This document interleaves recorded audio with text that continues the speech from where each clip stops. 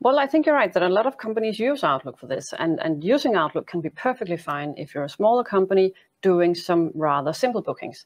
But as soon as your company grows a bit in size, um, there's just much more to it than just finding a room.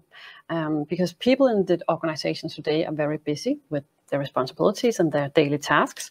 So remembering the names of each meeting room, remembering where they're located, what kind of equipment is present in the different rooms, as well as the number of seats in the different rooms, just isn't your top priority or top of mind. So what you're saying is using the Outlook room booking feature is perfectly fine for a smaller company with just a few meeting rooms. And then as soon as you go into a big company with several meeting rooms and several services around a meeting, you would use something more efficient for that, for instance, Planner. Yes, I would definitely recommend using what we could call a dedicated solution for this that's able to uh, handle the entire process.